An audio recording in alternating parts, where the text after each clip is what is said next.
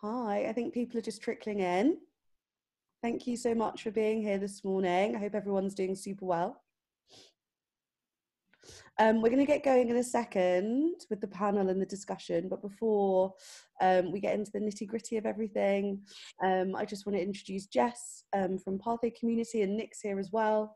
Um, and they're just going to tell you a little bit about everything that they do um, and why they do it and why we're all here today and set a bit of context for us.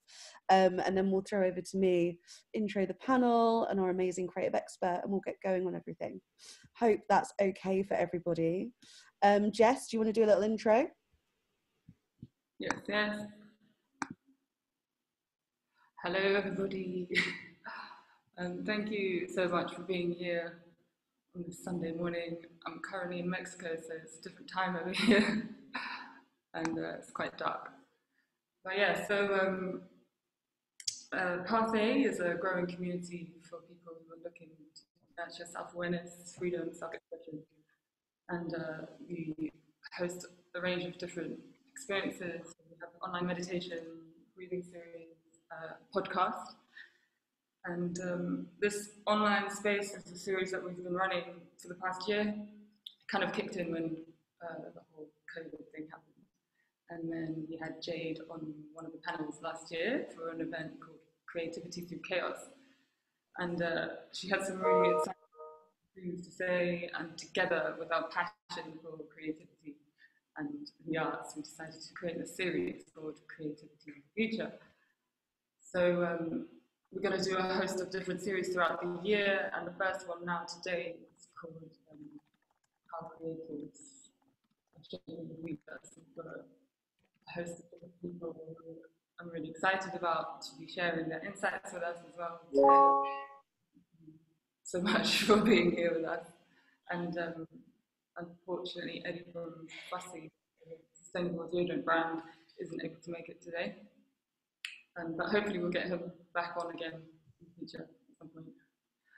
Um, and yeah, you know, today's full moon as well, I've heard. it is Libra moon. Yeah.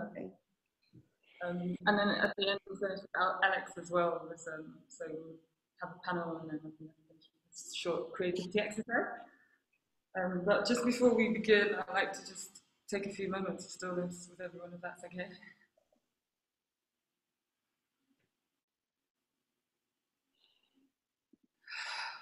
Just be present.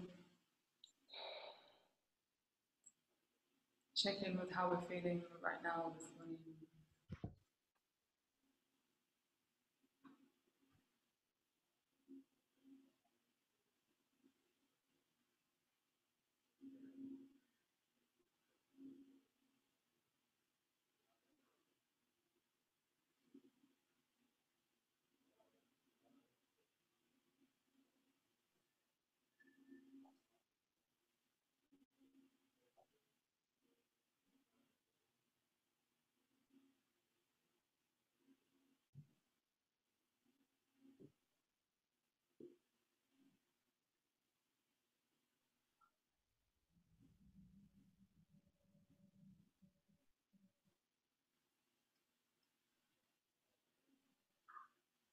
Remembering that we're here to listen, open ears, open mind, and an open heart.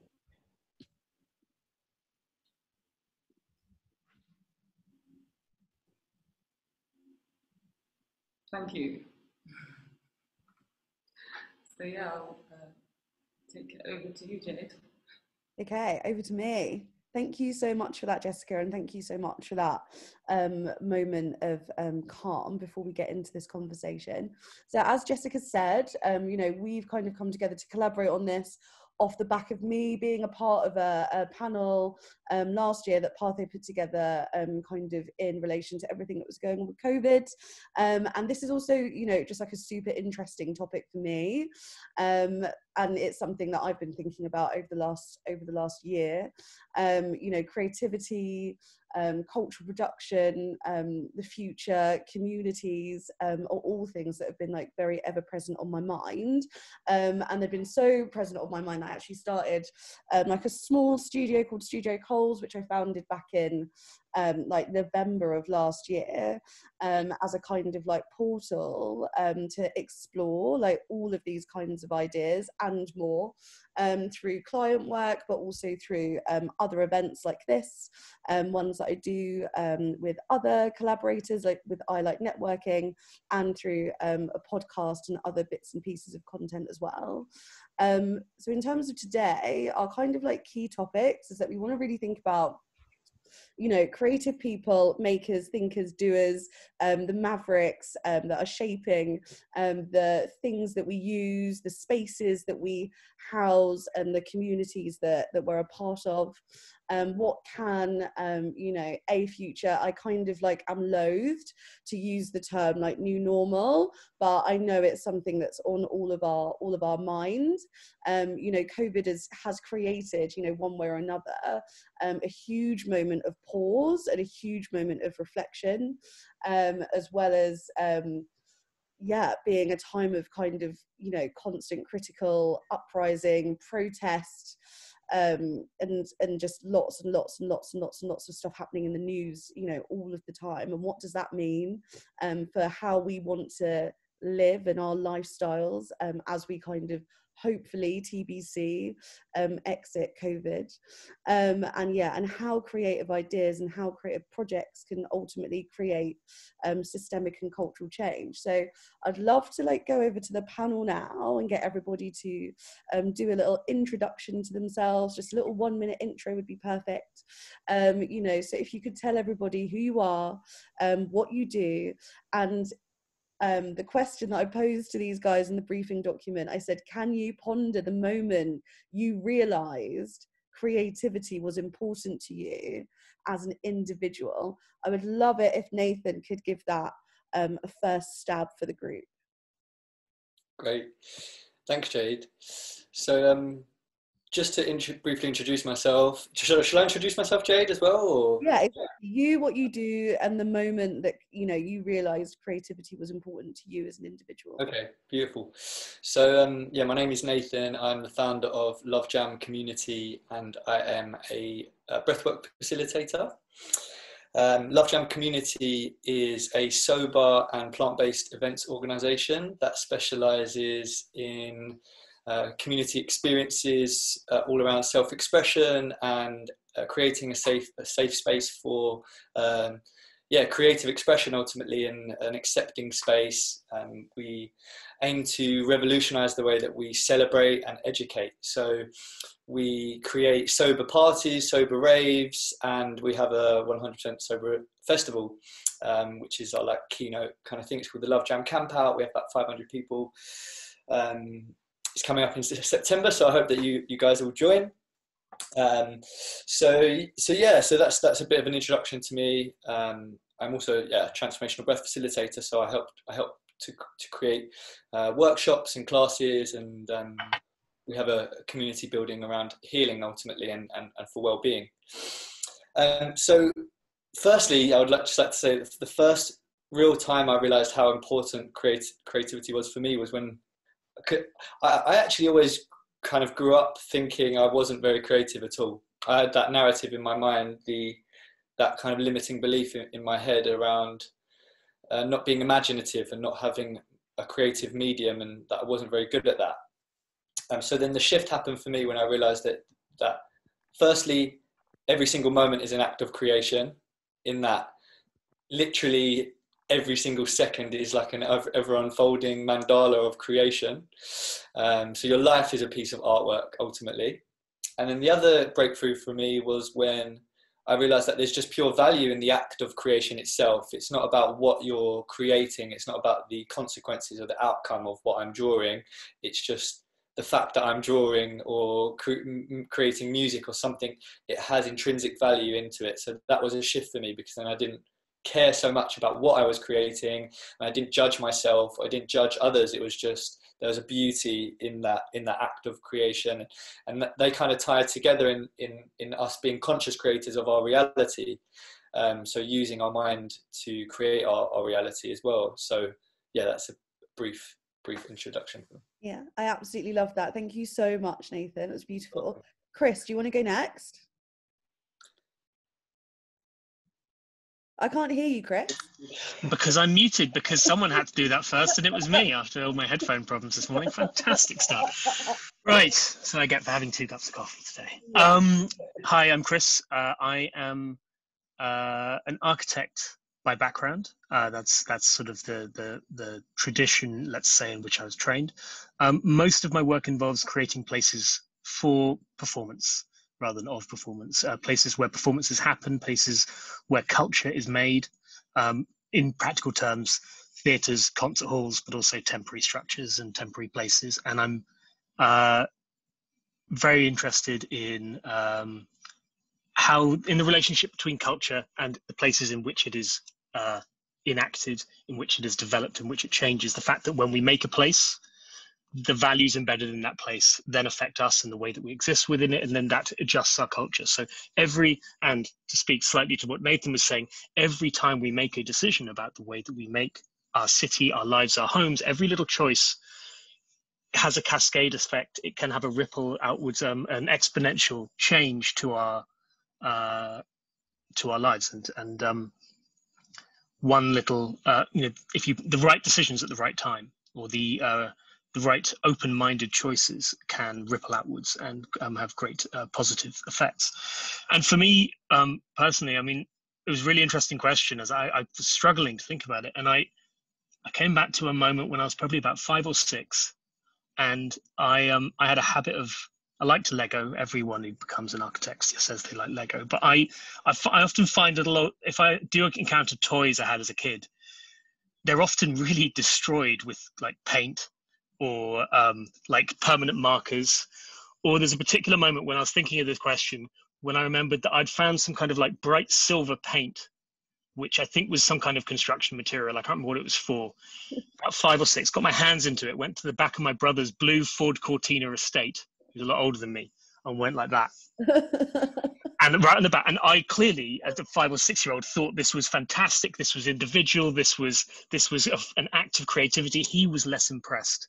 Um, and I think as I look back at when you asked the question, there's probably a cascade out, not from that moment. I'm not going to say it was childhood trauma, but uh, there's a cascade because it was a great moment. But there is a cascade outward from little moments like that of realizing I wanted to see things slightly differently, wanted to question why things were the way they were, and maybe have a go at making them different, hopefully not too permanently, like the back of that car. Um, so that's the kind of way it started. Oh my god, I absolutely, I absolutely love that. It's it's amazing the moments that you that that stick with you like throughout your throughout your life. I'm actually thinking I might I might need to um after I remembered that the other day I need to give my brother a call and kind of maybe apologize for that as an adult. I don't know. He loved that car. He loved that old car. Exactly. I'm sure he talks about it in therapy all the time. When is Chris gonna apologize for that for that moment that honestly I could have saved him thousands. Amazing. Joanna, do you want to go next? Yeah, absolutely. Um, hey guys, so sorry, first of all, tiny disclaimer, I do have a very dramatic cat who's just being very extra today, so you might hear him wailing in the background. Um, but uh, yeah, enough about the cat. Um, I'm another lapsed architect like Chris. Um, I think a, a, lot of architects kind of realize and meander uh, along the way uh, from their original sort of background. Um, how I would describe myself now is more of an emotional engineer. Um, so I use kind of this multidisciplinary, um, multi-sensory approach to designing a space um, and probably combine a little bit of that with my God complex, trying to direct or uh, kind of imagine the uh, decision-making process, the emotions, the memories that people will have as they pass through that particular space. Um, I kind of always think of this Tschumi quote. Uh, Tschumi was like an architect who was pretty seminal in like the 80s, uh, who was saying, an architect who designs a window is responsible for the person who throws themselves out of that window. That's obviously a very extreme kind of way of thinking about it, but that's essentially what I what I try to do. So currently I work with uh, your studio um, and I work uh, with advising brands about designing their space strategies, let's say, um, uh, of how to emotionally engage with uh, their, their guests and consumers. Um, so hopefully that's uh, a sort of clear, uh, clear kind of um, overview of what I do. Um, it was really hard to think of like the moment that, you know, like a kind of creativity defining moment for me. But actually, um, probably around the same age um, as Chris was saying, so I six or seven, um, I was uh, by the sea with, with my parents, um, and I had a, an accident. My hand was crushed uh, by this really metal, heavy metal door. Um, and before that, like I'm not a very sporty kid. I, I'm not, you know, um, so my kind of pastime and my identity as even as a little kid was defined by like doing little craft things and drawing and stuff and all of a sudden for about two months i couldn't do that my hand was in a cast like it was uh so it was that kind of weird shift in thinking about how do I spend my time beyond just like the mechanics of drawing? Like, how do I what does kind of creativity mean for me? Obviously, I, I didn't put it like that, but it was kind of um, this kind of, uh, and it really kind of challenged my perception about me and who I felt I was. I was no longer the person who was just always drawing when everyone else was like playing football. Um, but yeah, I think it was really interesting because it um, it transformed me more into a thinker rather than a maker, uh, which is definitely how I would define myself now as well. Um, but yeah, that was kind of my moment of uh, realization. Interesting. So it's almost kind of like this um, incident of like limitation, like creating mm. this like new framework and like a superhero. You moved your power. origin story. what a great origin story. And then she ate a spider, etc., etc and all of that stuff. Alex, I know um, in essence you're here to do the creative task at the end, but I feel like in for a penny, in for a pound. If you're at the event, you should just be in the panel. so it'd be great if you could introduce yourself as well um, yeah. and um, a little bit about what you do. And, you know, if you do have, um, I know this question's kind of been thrown at you, but if you do have a little um, moment um, that you remember um, about your creative past, then if you'd like to share it, that would be amazing. Yeah, for sure. So, Alex, hey, um, I am currently in Melbourne, Australia, hence the accent and the nighttime. And I can see that full moon actually right behind me as well that we were talking about. Um, so, I am predominantly a photographer. And um, I also am a yoga teacher and brand manager.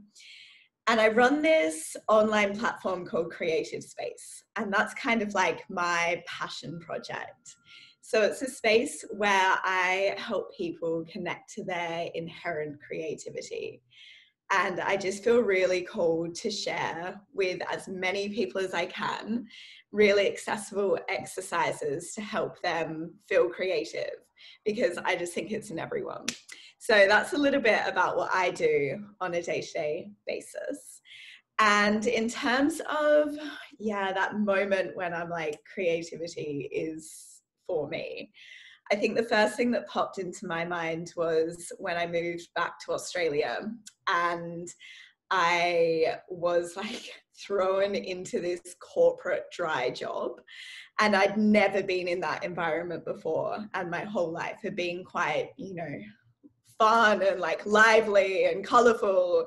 And then I was thrown in this dull environment and I was like, oh my gosh, there's something missing. What is it? And then, yeah, it was definitely like, right, I need to make a conscious effort to like pick my camera back up, take a course in ceramics because it's not what I'm doing every day. So, yeah, it's probably the moment when I realized how much I need that like creative spark in my day to day to just like keep me alive, keep my soul happy. so yeah, just thank you to keep your soul happy. And i completely agree with you in terms of that whole um, kind of creativity being um, within um, everybody um, scenario. And also you know creativity um, you know as kind of Joanna's um, explanation sort of indicates creativity like through thinking as well as doing you know what you do with your hands what you do with your brain how you collaborate with other creative people to make other great creative stuff are all like super important. I guess like question wise i'd love to kick off with thinking again um, about like problems and solutions. And like Chris, like I wondered if you could talk a little bit about how like your practice um, like solves problems you know because i know that you design and um, like you say you've designed like spaces for performance but i know that you look at your practice in a sort of yeah interesting alternative way. So it'd be interesting if you could talk a little bit about that and maybe about um, the influence of community on like your practice and the work that you do.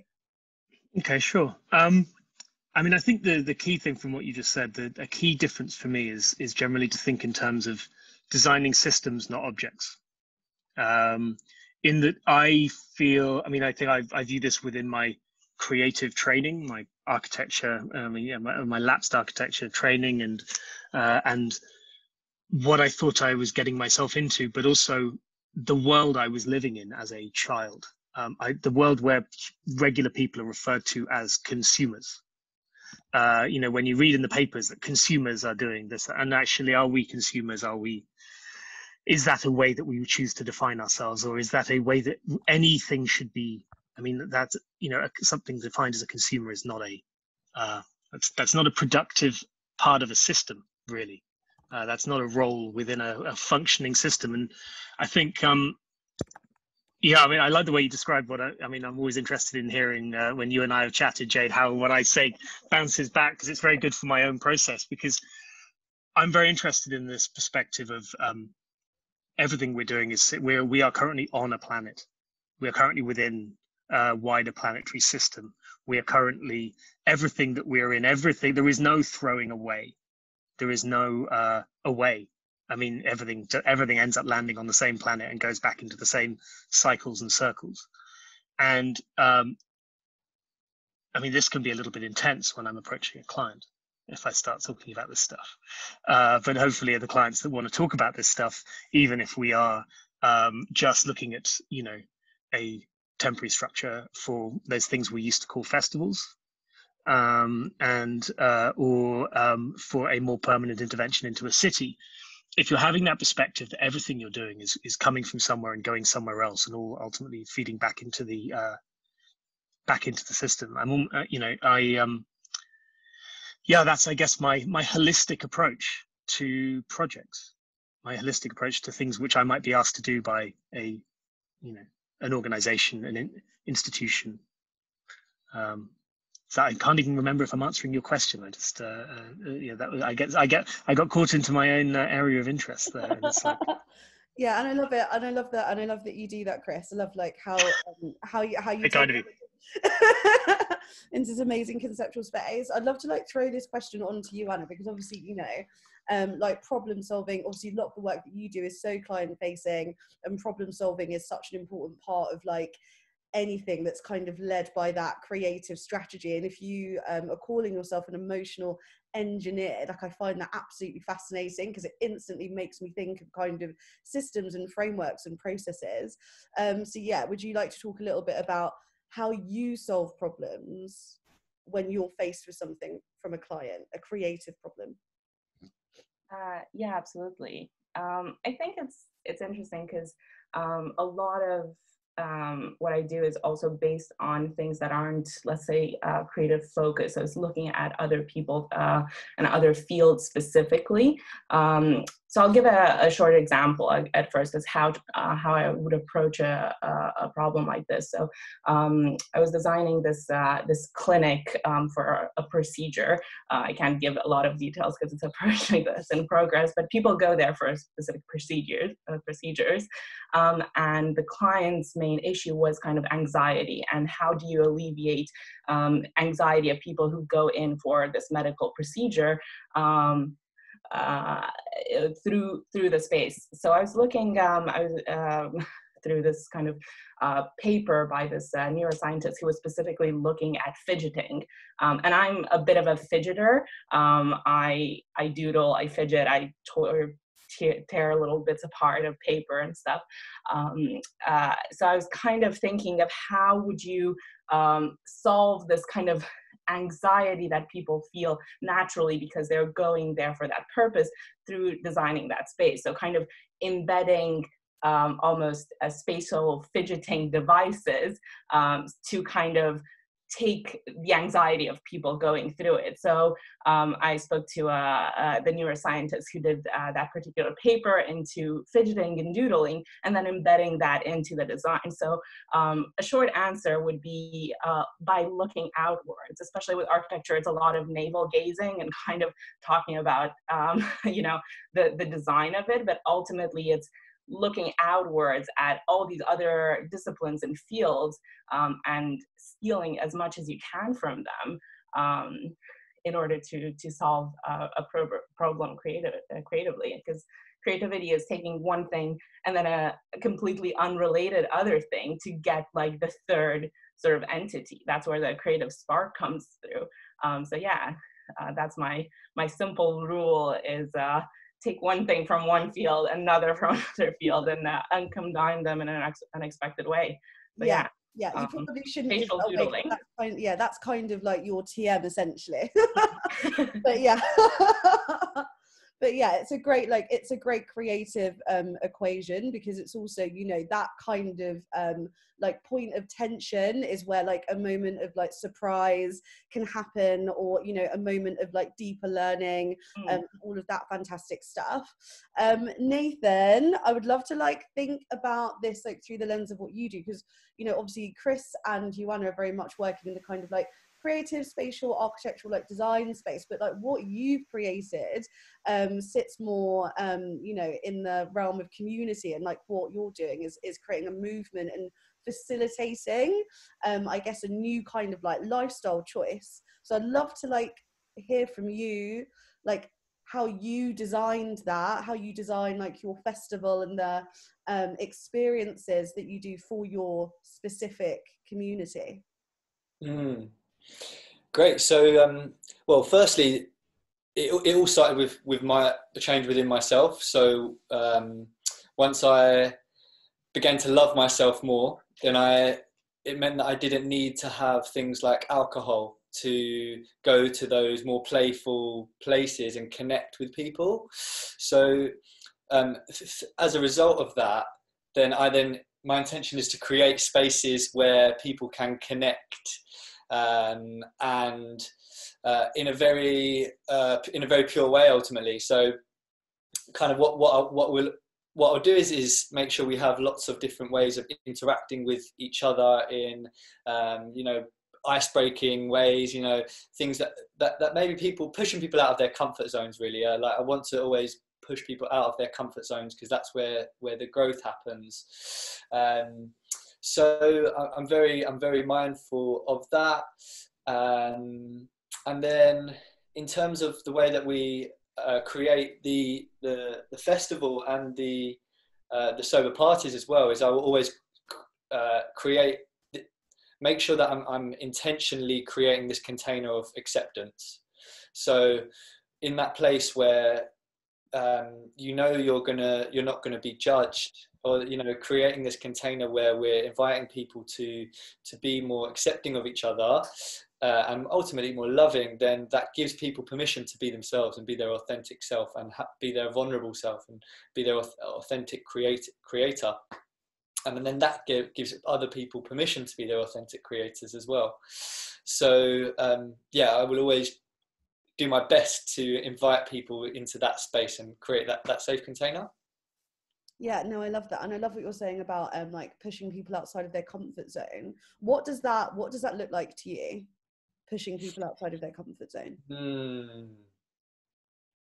Yeah, so for, I guess for me, it's it's it's being vulnerable in your in your in your true self, in your authentic in your authentic self.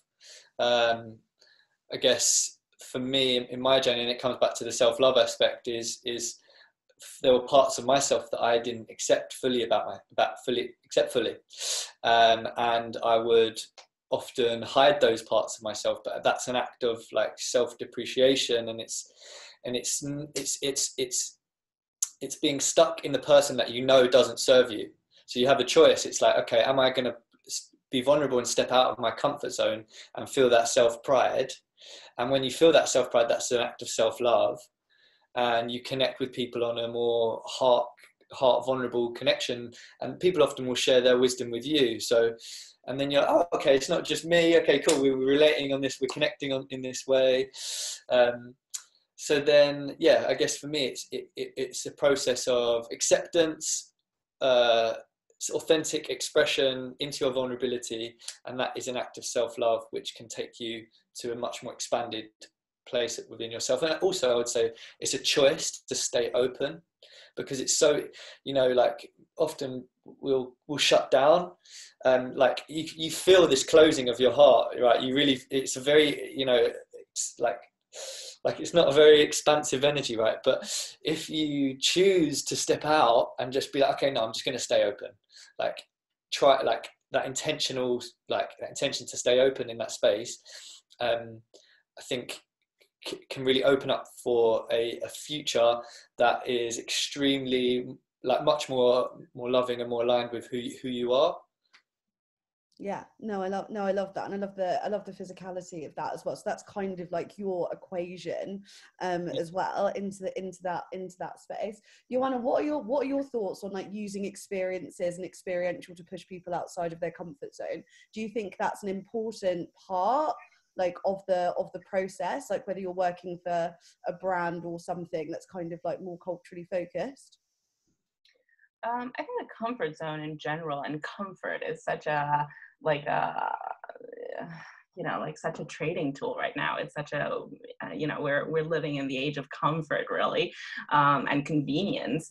Um, uh, you know uh, and that kind of is the ultimate luxury right now, right? Um, so kind of challenging that in a, a little bit is is always good. You know, having that kind of moment of um, of risk that people take that when they engage with a space or an experience is really important because that's what generates memories uh, because it's a, a, point of differentiation from their uh, from their everyday is that kind of like jumping through the the looking glass uh, or something so it's it's kind of that moment of um, uh, that generates uh, really strong sort of emotional responses and memories for them. So yeah, absolutely. I think it's uh, hugely important, especially in a landscape where everything is tailored for our comfort and our kind of, um, let's say, wellness, which has become a little bit of an encompassing kind of, um, uh, you know, safe word in a way. So maybe sometimes it's good to kind of challenge that and uh, and and push it. So uh, yeah, absolutely. Um, I'd say it's hugely um, important to to push uh, people out and and, and uh, outside of their comfort zone. Yeah and i'm thinking a little bit about like pushing people outside of their comfort zone and kind of like larger like social and political like change and movements as as, as well because you know in order for um you know people to change their um, views opinions you know lifestyles you know that curve takes a really long time and is normally you know led through lots of different project you know projects and advertising and marketing and you know lots of people doing lots and lots of research into you know what we buy and why we're buying it and the psychology behind all of the things that we do. Um, so i want to move into thinking about like how creativity and creative thinking um, can start to challenge those like bigger like macro ideas. Um, chris do you have any thoughts on that or like projects? Yeah that kind of how creativity can um, you know support with our you know big kind of like social and political like challenges of now. I know that's a huge question to land on you. It is. I'll try well and i'm yeah. I mean one of the i was talking to someone just the other day and um, she quoted at me and she's we were trying to remember who it's one of those things where you find a quote or a particular line particular line of thinking you can't necessarily remember who it was from and then it's you know but you know it's a good one, which is the, the idea that, and unfortunately, I, I'm now going to seem like I'm always talking about this. Back to the idea of the scale of systems. It's that it's hard to see. It's often hard to understand a system from within it. Uh, it's, it's particularly hard to understand if you're only viewing it from one perspective. So when sort of talking about these social and economic uh, inequalities, these things that we, in our lifetimes, we've all been raised within a particular pos- position within certain assumptions. It's a creative act, a bit like as Nathan was saying about every moment is a motion of crea- moment of creation. There is a creative act to just being able to imagine the world being at all different. Yeah. So when you when you're sort of saying what role does creativity have in this, fundamentally the only way we can, uh, who was it? It was uh, it's Lucille Clifton, American poet. So we cannot create what we cannot what we can't imagine. The act of imagining something new is what leads us to the future we might want. If we can't, you know, and the act of one person imagining it new, putting it out there, uh, making it visible, thinking in public, standing up for what they believe in is what allows other people to see something else as being different. And if we don't, um, if we don't, yeah, essentially, it's what role does creativity have? It's all we've got. Otherwise, all we end up doing is that we we're we're just clicking and following uh, the, uh, the the AI, uh, and you know AI isn't AI; it's just machine learning. It's just repeating. You liked this before. Will you like it again? And we can get some money out of you if you do. Right? It's extractive. Uh, and fundamentally, if we're looking to try and make our future regenerative, which it has to be because we're damaging everything that we're in in in right now, we have to do what we can as humans, which is to think a little bit differently, even just a little bit at a time. So fundamentally, yeah, what can we what can it do? It's all we have. So basically, kind of what you're describing is the echo chamber, that like that convenient, that kind of comfort and convenience that we were talking about, and that age of comfort and convenience that we're in, kind of you know tagged on to um, all of the kind of new technology that we now also kind of like sit within in our you know echo chamber, um, is yeah is is yeah that's extractive. Yeah, it's yeah it's it's just it's just it's distracting. And but no but it's, it's distracting but it's also extractive. I mean it's it's the idea of comfort. I mean joanna uh, said it really beautifully about this sort of relationship we now have with comfort. But we are, are our lives that much more comfortable? They're certainly more convenient and that much easier. But they but the reason why we need comfort is because we are being damaged the reason why we need comfort is because uh, the system that we have uh, created in the last couple of hundred years is uh, is not natural for us, and getting back into harmony with what surrounds us, and uh, doing so, you know, in within the, you know, step by step, blah blah blah. That's the that's the yeah like this this we're, we're being our comfort is being sold our comfort has been taken away from us we gave it away and now it's being sold back to us mm in little commodified chunks. Nathan, do you hmm. have any thoughts on this? Because this feels kind of very relative to everything that you're doing as well. I do, yeah. So um, one of the things that came through for me was the power of music um, for change. Like music is a form of activism in my eyes. Like you can look at people like like Nina Simone and the impact that that her music had on on shifting uh, perspectives, right? And and ultimately, what motivates people to take action is either inspiration or desperation. And i think music can be very inspiring for people. And, and for me music is about the way it makes me feel. It's it's about it, it, it sparks an emotion within me right? So i think music can be a very powerful tool for inspiring people to make emotional uh, change as a result of the emotional things that come up within them um, I mean, one example for, for that is, is that, that came up for me was um, actually uh, maybe some of you have heard of a, a rapper called Lowkey, uh, a political rapper, a British rapper. He was uh, demonized by the British press for being a terrorist um, when actually he wasn't. But I actually grew up in a. Uh, I went to a, a secondary school that was a Jewish secondary school and he was talking about uh, Palestine, and, and you know, and it was actually he brought into my pers- into my zeitgeist and my perspective a different perspective that changed the way that I perceived the Israel-Palestine situation. So it, it affected me in, in a way that music affected me in a way, and maybe I wouldn't have come across that in that way if it wasn't for that. And then the other thing I wanted to say was. Um, Lovejam is like you know it's a bit of a hippie event. You know it's it's like people will come in there's we're doing meditation sound baths um it you know it's vegan it's it's alcohol free it's a bit of a hippie event right? So you know a lot of people just aren't going to come to that right? A lot of people just won't come to that because they'll be shitting themselves. They're just not going to come to something like that. And you know maybe it's from a place of insecurity maybe it's from a place of judgment but they're probably not going to come. However what people will come to is somewhere where it is about the music.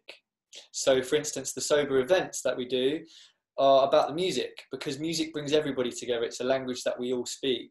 So, like, I have a vision of selling out the O2 Academy as a sober event and, and, and using that as a way to expand the community. And again, just creating this very safe, beautiful container of love and acceptance and not feed it, force feeding anybody stuff down their throat about spiritualism, but just creating a safe space, bringing and, and allowing the music to be a medium to bring people together, to open their minds to a different perspective, basically. If that makes sense. Yeah, that absolutely does make sense. Yeah, using music as kind of like the um the leveler to bring people into like an, a space where they can explore like lots of areas of like wellness and spirituality or you know eating different things or whatever. And i think veganism is such a like interesting example to cite because it's like you know 15 years ago like if you went to a restaurant and somebody like ordered a vegan meal like everybody would have some kind of like crisis.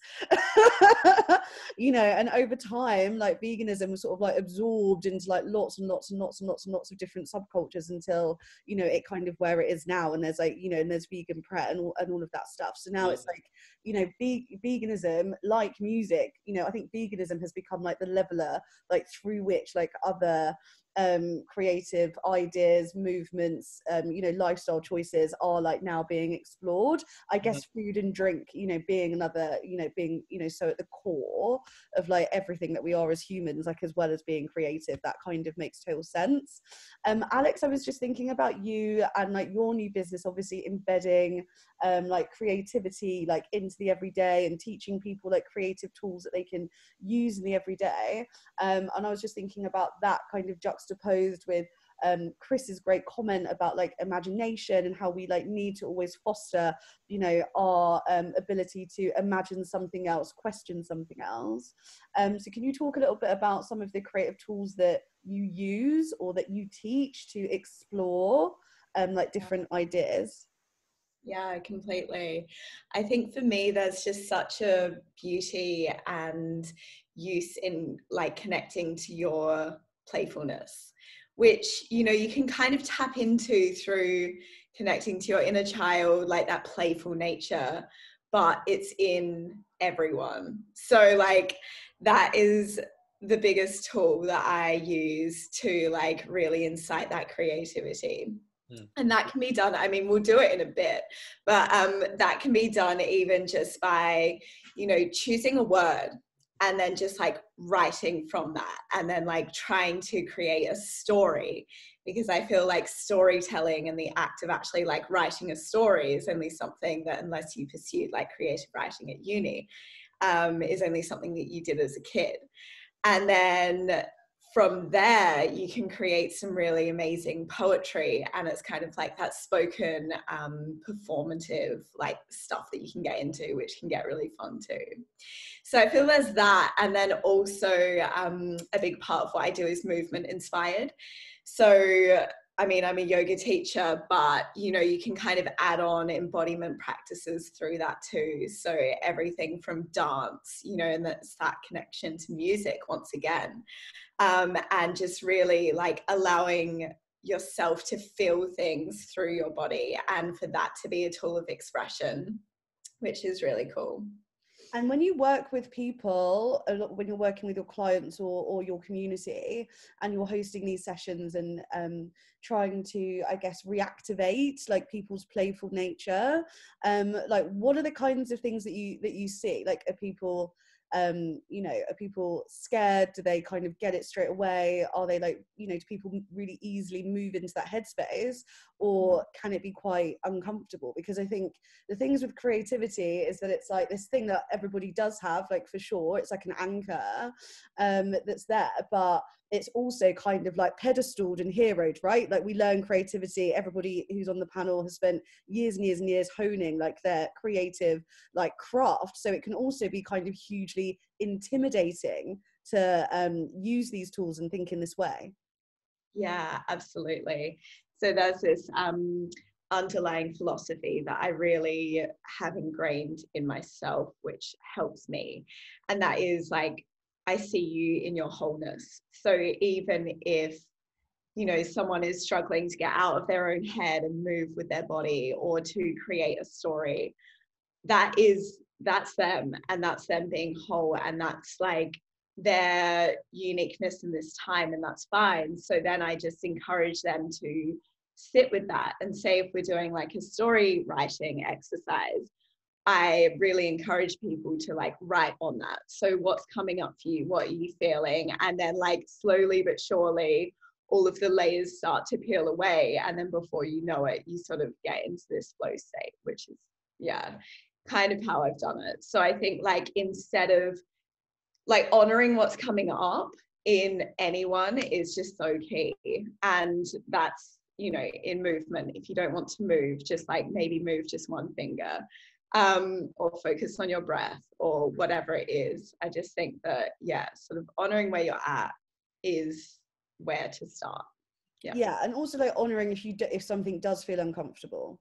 Because you know again and I know and I know this conversation isn't isn't about comfort but it keeps it keeps coming up um in in various different places. And it's like it's important to realize when you feel uncomfortable and to own that feeling like it's totally natural to not feel comfortable. It's totally natural for something to not be convenient. It's totally natural for something to not go exactly the way that you thought it would in your head or realized in real life. Like all of those things are, um, are absolutely fine. And I'm sure you all find that across like your critical practice. Um, we're coming up to like the last few um, like moments of this part of the session um, before Alex kind of takes over and does her workshop, which I'm super super excited about. Um, so I guess I just wanted to like end um, on like one question, um, like for you all. Um, if you could like grant like one wish for the future, like what would it be and why? I'll let you start, Nathan. Oh, dropping bombs. Yeah. Um, one wish for the future, and what would it be? Hmm. Mm, yeah, I think it would be that we we step out of the veils of separation into a place of more where we re- we see our interconnectivity more clearly to the point where people are no, no longer greedy because I think that greed is really what has and the set the set the separation of unity into the ego is what is really causing a lot of these issues in society and the destruction of our planet and this extraction method that we're in. So yeah, I would say seeing our in internet in, in connectivity and um, yeah, seeing ourselves more more together as a, as a result. Yeah. Yeah, Chris, how about you? I'm going to go for a variation on the same theme. Uh, do you know the pale blue dot photograph uh, that mentioned uh, quite often by Carl Sagan. It's the time when they first persuaded the Voyager space, uh, the NASA to turn around the Voyager spacecraft and look back at our solar system. And the, the, the digital photos of the time from this 1970s technology were so low, low quality. It's just a little pale blue dot in what looks like a sunbeam coming across this old photo. Very famous, low quality old photo. And he wrote beautifully about it. And it's basically about um, the realization that everything that we know about our history has all taken place on that one little dot floating like a mote in a sunbeam. And it's just another perspective on what nathan was saying. It's the real it's the realization that no matter how much uh, we're all you know we as humans that we naturally look at anything over about 120 people is nat- we naturally it's unnatural for us to view them as anything as other than other it's the dunbar number it's that's how big our communities were in ancient times. And but the realization that at this point, everything that we do to our planet is on such a scale that we're screwing it for all of us. And so the, the, the idea that we're all on this together. Um, and so my hope would be if we can have that realization, whatever, and I hope it's a relatively positive thing that really gets us to see that. I hope we can see that not too late and still find our joy, still have good lives and enjoyable, fun lives with great parties but to do so in a way that isn't screwing somewhere else on the same planet. Yeah. Amazing. Joanna, how about you? Um, I mean, you guys put it so so beautifully, so um, so deeply. It's, it's you know you're talking about this pale blue dot, and it's almost this continuous chain of creativity that got us here. You know, from the first person who, uh, you know, the first uh, caveman person who put their hand on uh, on a on a wall, up to where we are now, where we're developing um, what is still very incipient and kind of superficial AI and stuff. It's this continuous chain of creativity and passing on knowledge and collaborating between fields. Creativity sometimes is defined as so narrowly, at least in, um, let's say, uh, I know one of your question was about the government, kind of like what is creativity, um, what are creative jobs and a government perspective. But you know, what uh, creativity is not just within the creative fields. It's it's this collaboration and it's this continuous chain of um, knowledge exchange and taking the path of most resistance. Um, that's where new ideas and new challenges come from. Um, uh, and we're in this such uh, this exciting age of kind of um, I try to talk about it as this new renaissance. You know, it, eh, we have so many tools at our disposal of communicating, of searching, of looking into other fields. Um, renaissance was kind of uh, you know is known for people not being uh, you know experts in something, but in love with all sorts of uh, different fields. And I'd love for all of us to embrace that um, again and kind of become these uh, curious uh, sort of flaneurs and creatives uh, across different fields to generate new ideas for the future. Um, so yeah, that's my, my wish is uh, embrace the new renaissance. I love that. And embrace curiosity. It's so important.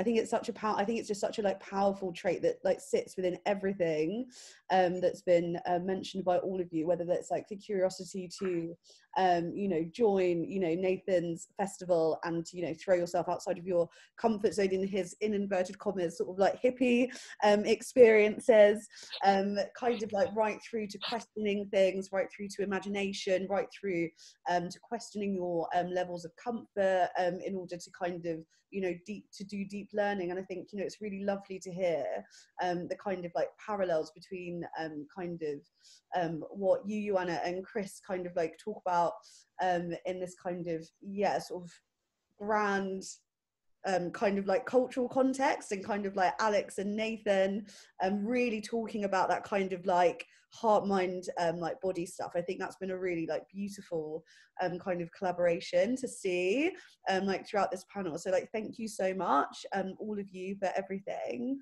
Um, if anybody's got any questions like feel free to like pop them in the chat um, and we'll get them answered for you at the end. But otherwise i think we'll conclude um, the kind of panel part of this session Jess, I'll throw back over to you.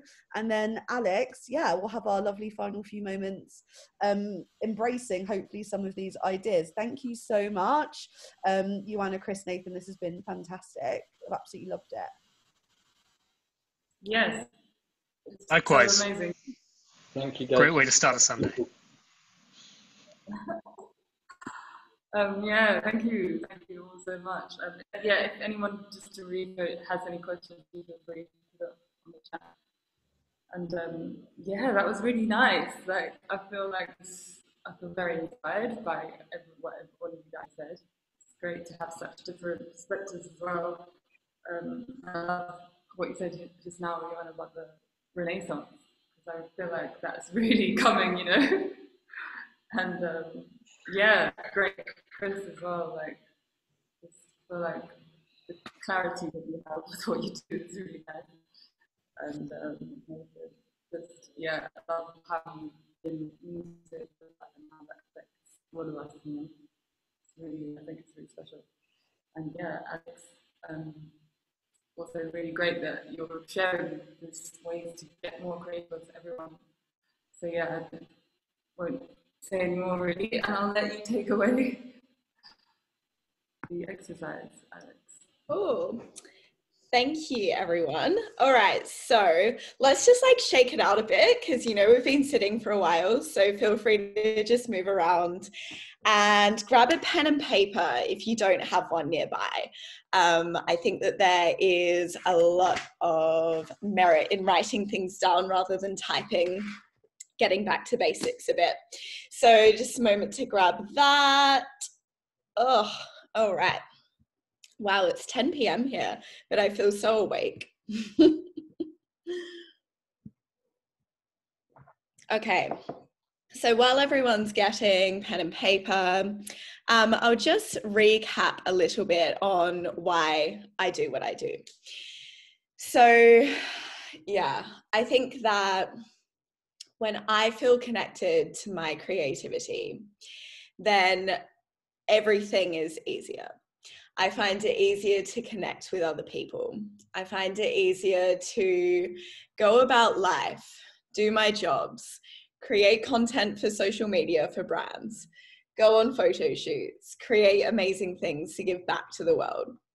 So just from like such a small point of view, like tiny point of view of mine in the world, I'm like, right, okay, if that is what happens to me when I feel creative, imagine what good can be done in the world if more and more people feel connected to their inherent creativity. So that's what we're here to do today for the next 15 minutes or so. So I'll be guiding you through some super simple, accessible exercises that you can absolutely use time and time again. Anytime that you're feeling a little blocked, anytime that perhaps you want to move from one job to the next, say in your day, and you just need that break and that sort of circuit breaker that can help you and like yeah, just a refresher, you know? So we're going to take a moment to come into the space around you. And Jess did that really beautifully before through a meditation. But I'm going to invite you to do this a slightly different way. So just take a moment to focus your eyes on one point in front of you, preferably not at the screen, but at something physical in front of you and just allow your shoulders to fall naturally. Maybe bring a softness to the jaw. And we'll just take a nice deep breath in together and release it. One more like that, a nice deep breath in and exhale to release. Now start to notice the color that you're looking at right now. And maybe the different gradients of color, the texture of what you're looking at. And start to broaden your gaze now. So, what can you see around you? And scanning the room quite slowly. Noticing the way that light falls on different areas. The subtle details that are all around. And then noticing what you can hear, both inside your room and maybe any noises that are coming from outside.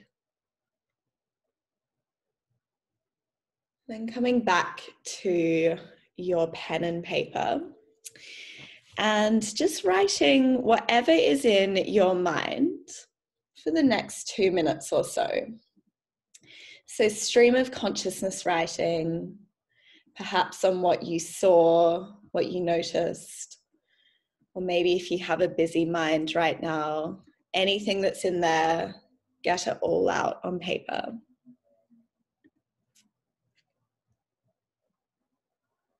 I'll leave you in silence for the next minute or so.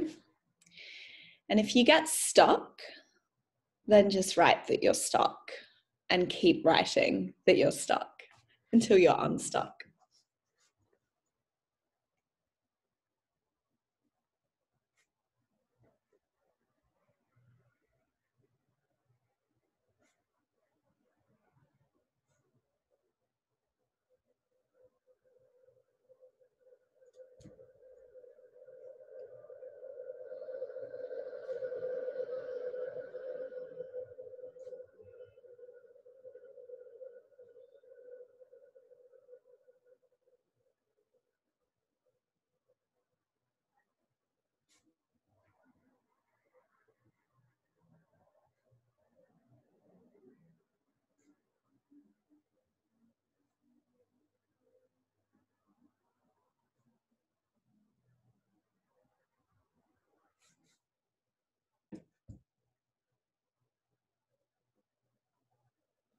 Just about 30 seconds to go.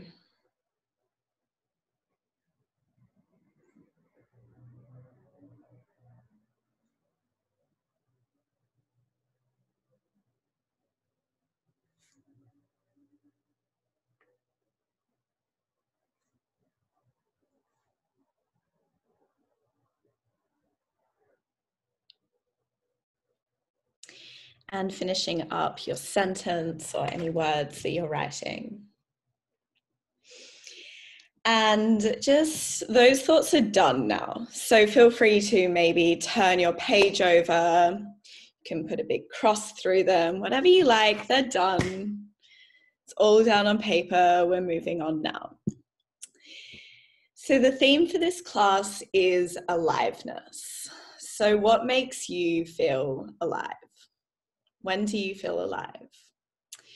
So I'd just like you to write down for the next minute or so what pops into your head when you think of the word alive. And I'm just going to leave you with that. So, when do you feel alive?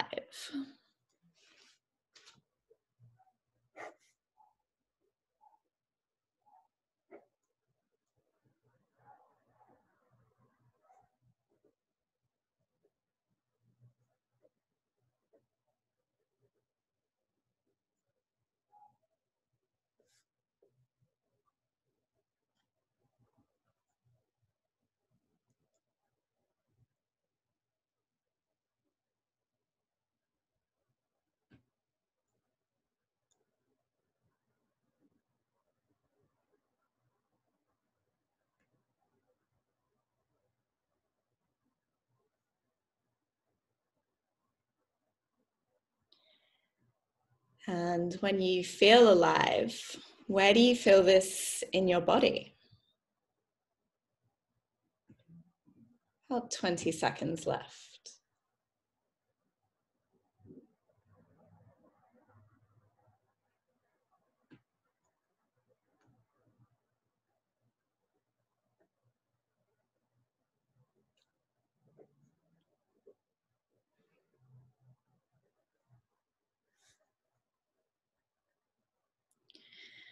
Amazing. And just finishing up your word or your sentence. And really, this feeling of aliveness is where our creativity is born from.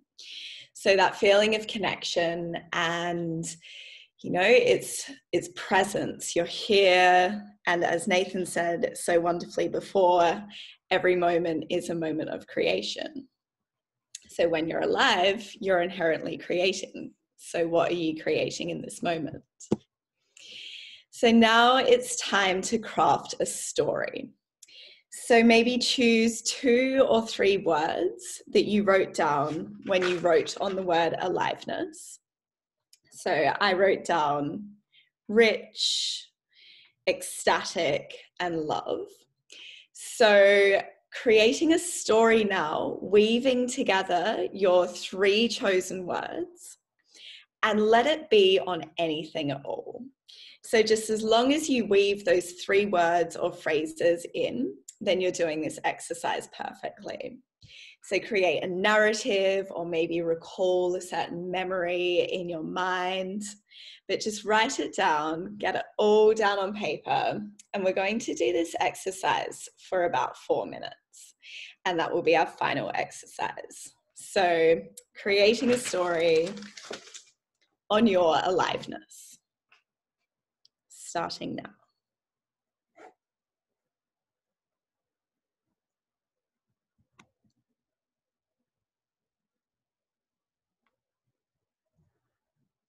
This is a chance for you to really connect back with your playfulness as well, your storytelling techniques.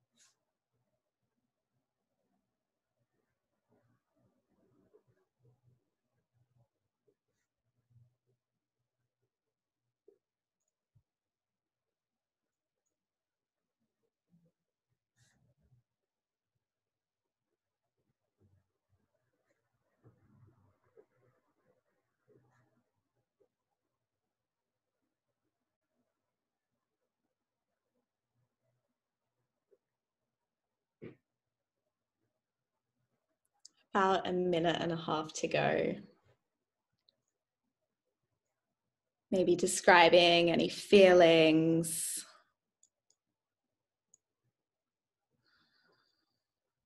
What you can see in your story, what you can hear.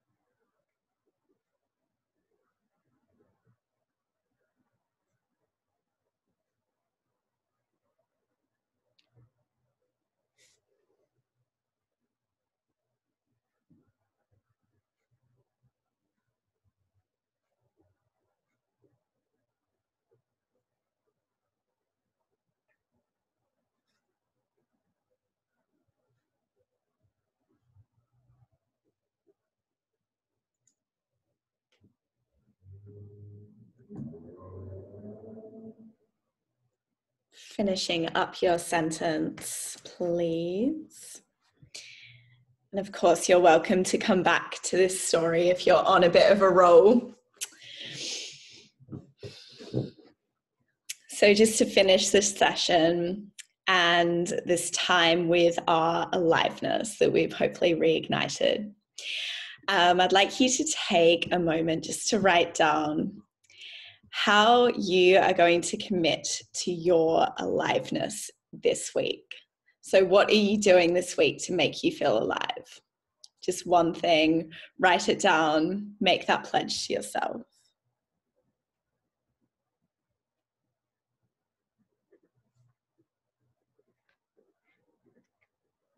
For me, I am going to spend some time in nature. That is my pledge myself. Amazing. feel free to share yours in the comments if you like as well. You can kind of hold each other accountable here.